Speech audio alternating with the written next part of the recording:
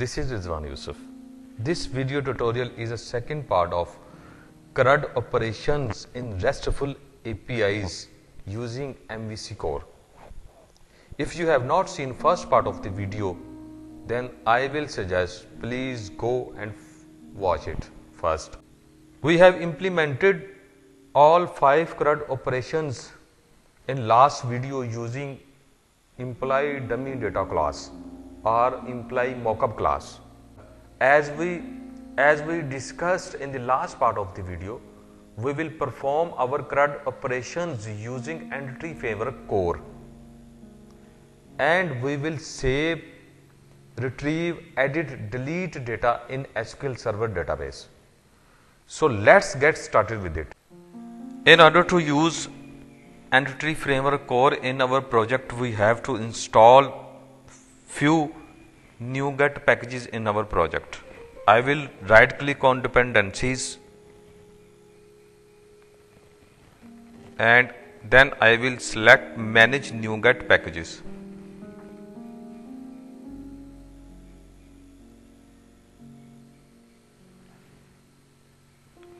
From here I will select Microsoft SQL Server.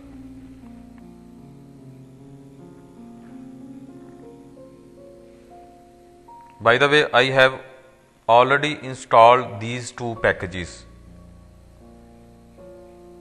The first one is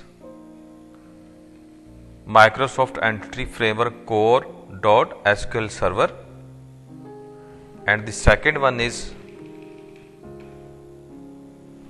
dot tools. As you can see it is showing in installed. So these two packages we have to install in our project in order to successfully use entity framework core in our project. Okay in second step or in or in next step. In next step we will create our context class. After installing the NuGet packages successfully I will right click on model folder and add a class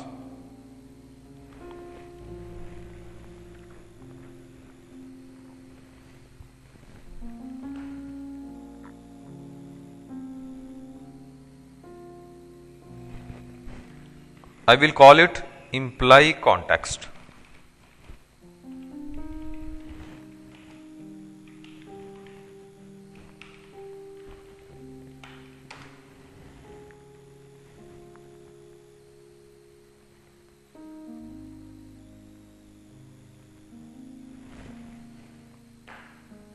This class will inherit from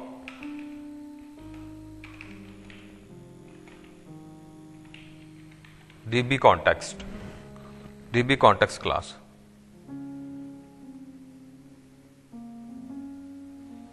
I will reference it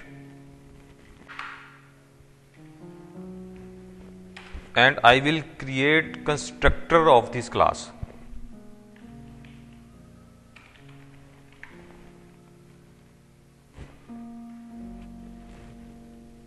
In this constructor, I will add DB context option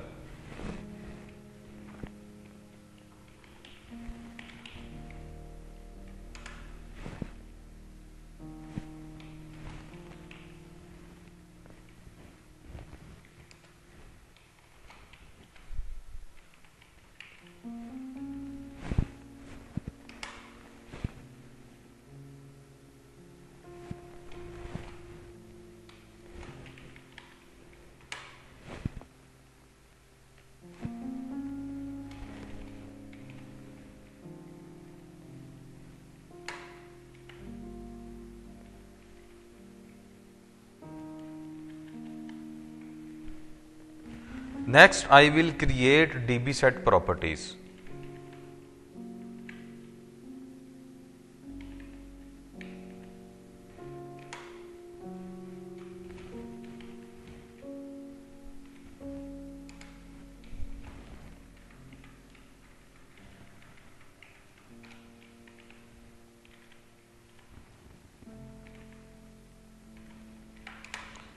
This implies property or this model will act as a table in our employee DB.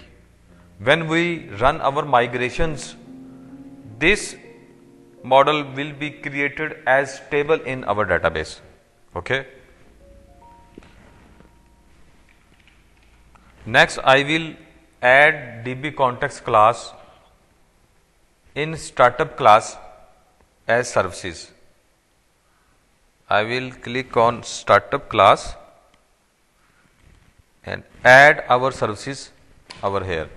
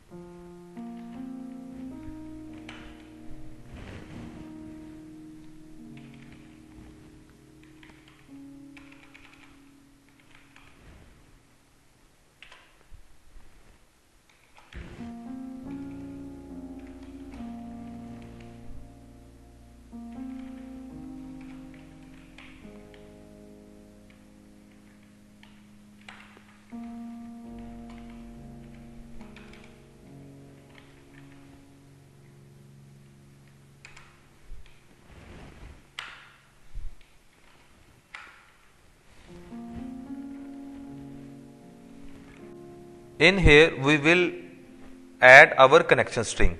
But right now we have no any connection string defined in a application setting.json so so let's create it.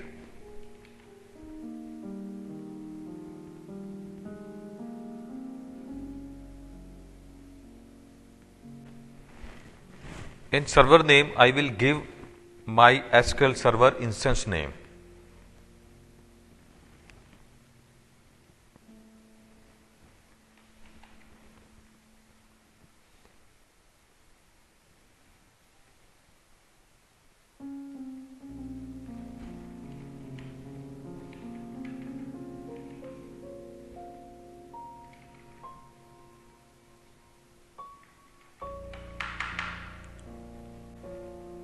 right now I will add this connection, connection string name in our services.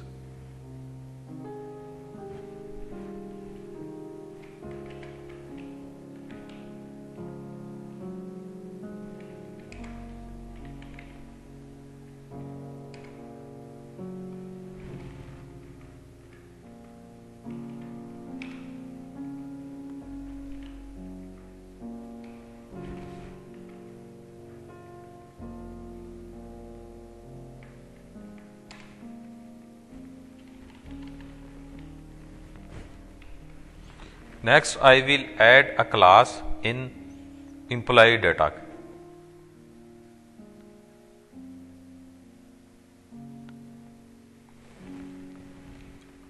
I will call it SQL employee data.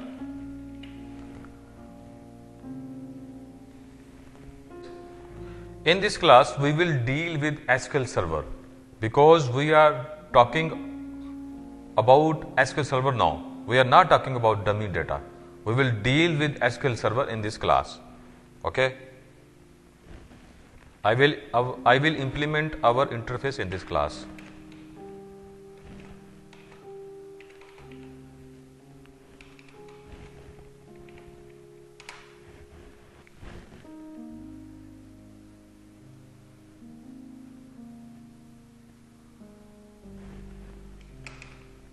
And inject DB context in this class. I will create I will create a constructor of this class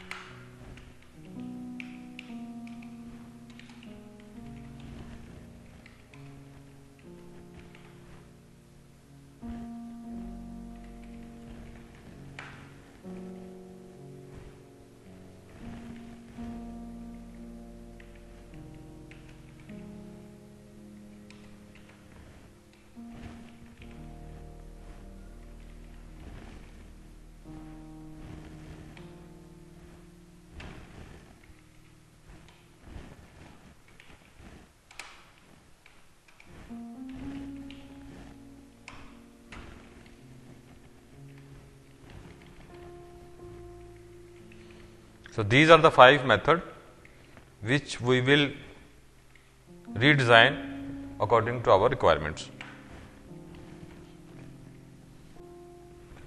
But first we have to change in our startup class, add one more serv service. I will add services, I will select services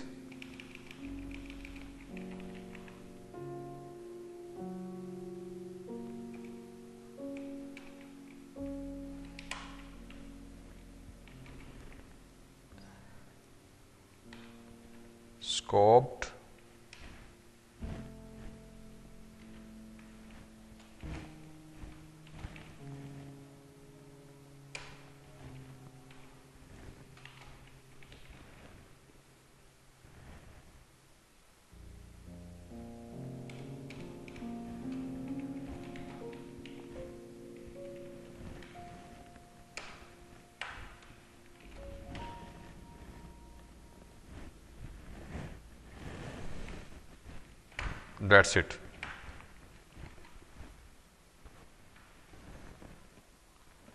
Let us go to our employee data class, SQL employee data class.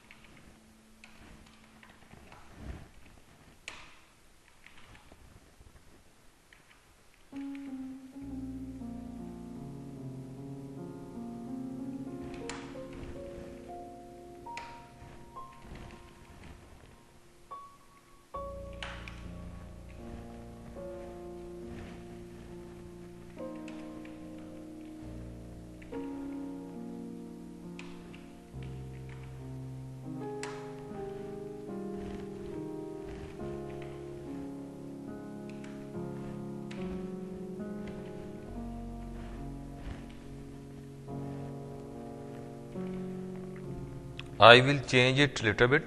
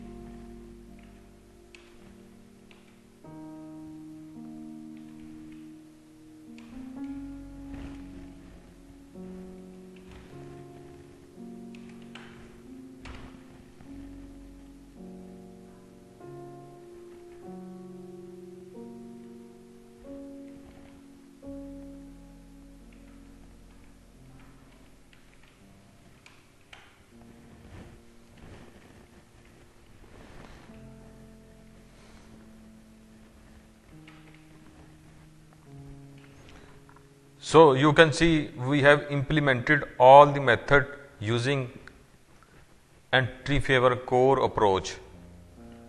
Get implies get imply by ID, edit imply,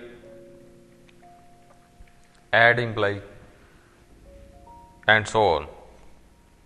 Now I am going one I am going to perform one of the major uh, step of migration as we discussed in earlier part of the video. We will migrate our model and model will be created as a as a table in our database. So let's do our migration. I will go tool option and select NuGet package manager and select package manager console. In console I will write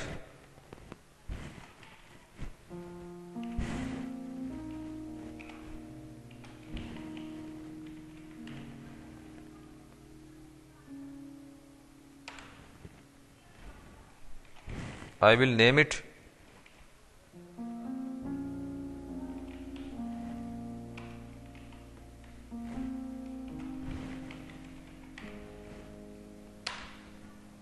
and press enter.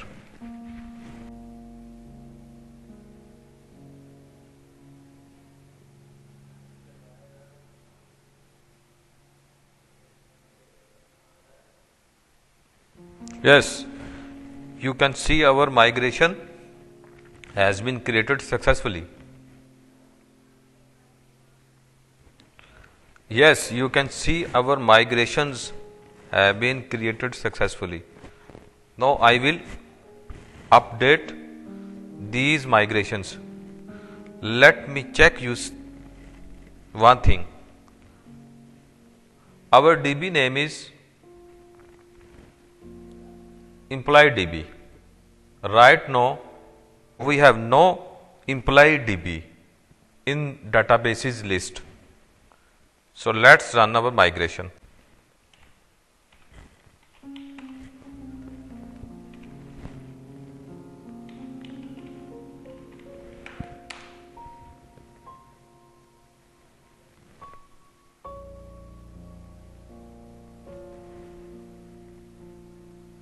So let's check in our databases list our database is available here or not.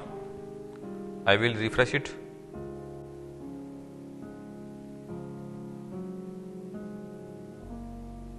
Yes, here we can find I can see employee database. Yes, this is our this is our database employee DB. Employee DB our database has been successfully created using migrations. Okay. And in our database, I can see our table as well implies and migration history.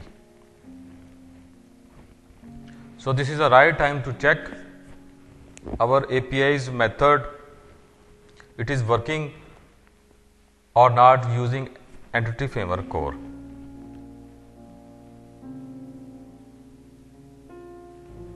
First, I will run our project.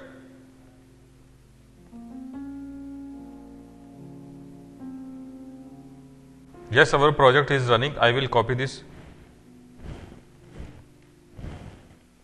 address. I will copy this URL and add post postman. Get. I will select get and hit the send button. So, now we are getting empty array because we have no record in our database. So, first we add data in our database and then we fetch then we retrieve the data from database. So, first we add database first we add record in database so I will select new request of postman add URL select the post method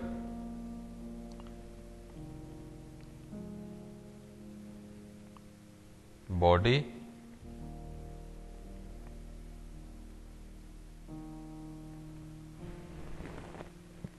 I will add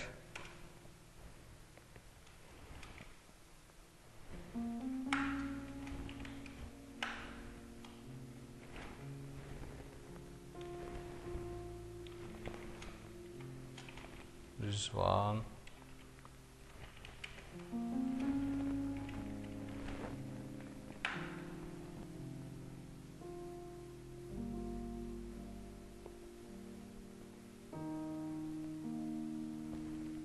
and hit the send button.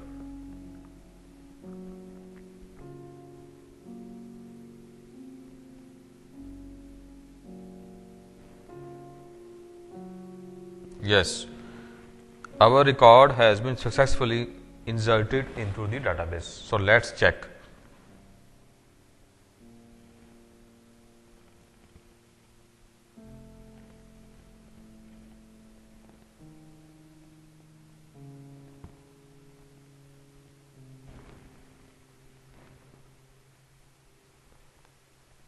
Yes. So, I will add one more record in database.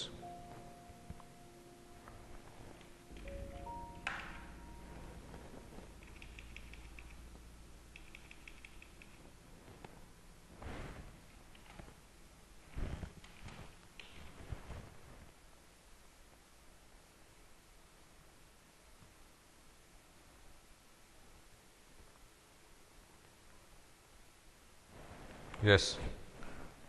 One more one more row is inserted in our in our table.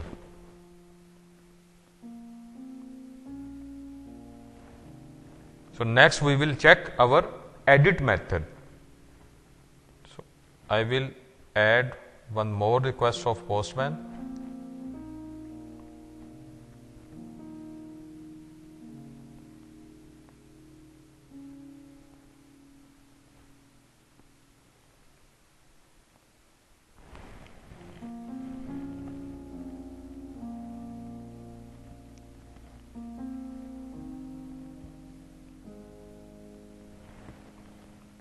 I will select patch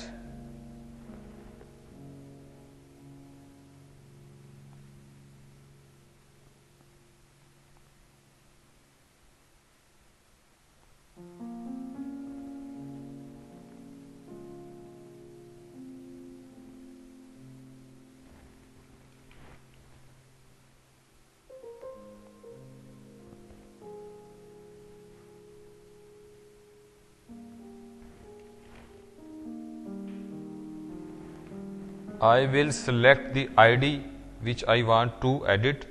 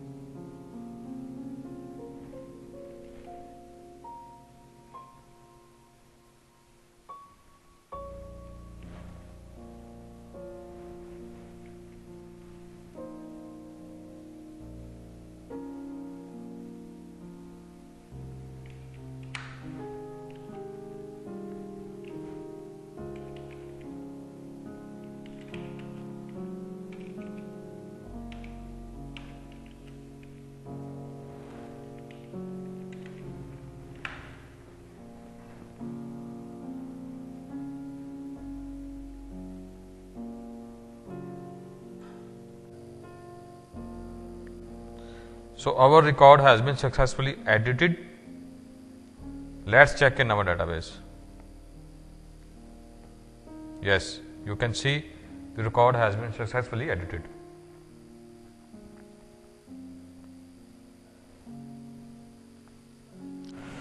Next, we will check our delete API.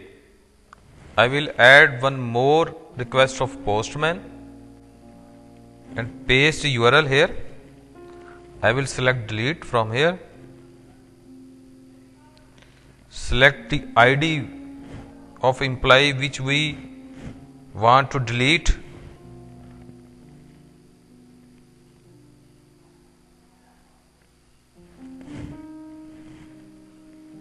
And press the send button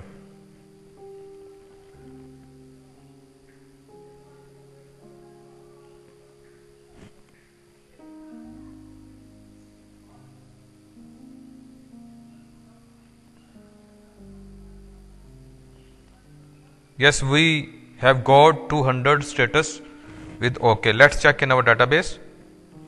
The record is exists or not?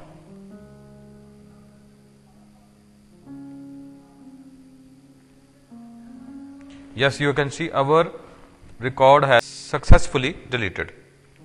Okay? So you can see we have performed CRUD operations using entity framework core. I hope you will like the video. If you like it, just give it thumbs up. Do subscribe my channel for some more content and keep watching. Have a nice day. Thank you.